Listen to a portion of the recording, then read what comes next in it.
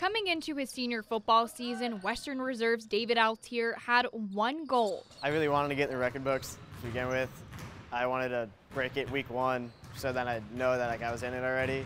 Altiere accomplished that goal, but he didn't just break one record, he broke five. The all conference running back finished the season with over 1,700 rushing yards and 22 touchdowns. My team did great this year. Like, even the receivers, with they, whatever they were asked to do, they'd block. They blocked a lot, and I'm thankful for that. My line did great. They did the best they could. And then uh, the coaching staff really just like believed in me and would anything that needed done, they'd put it on me. Altiere also plays basketball and runs track. On the court, the three year letter winner led the Blue Devils in rebounds and was second in assists last year.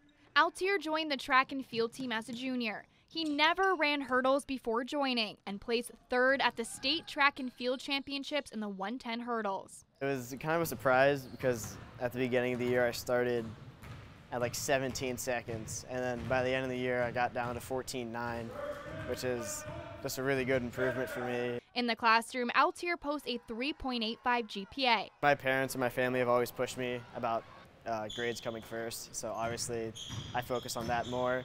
And then football and everything else just comes after that. Altiere is still weighing his college options, but plans on majoring in pre-med. Western Reserve senior David Altiere, our student athlete of the week.